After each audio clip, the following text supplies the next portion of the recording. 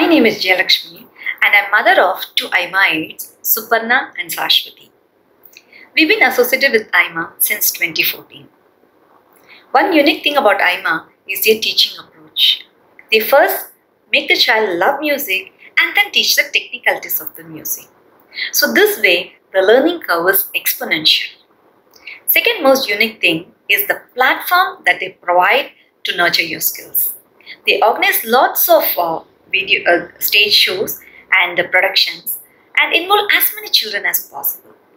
Children get to showcase their skills and this greatly improves their self-esteem.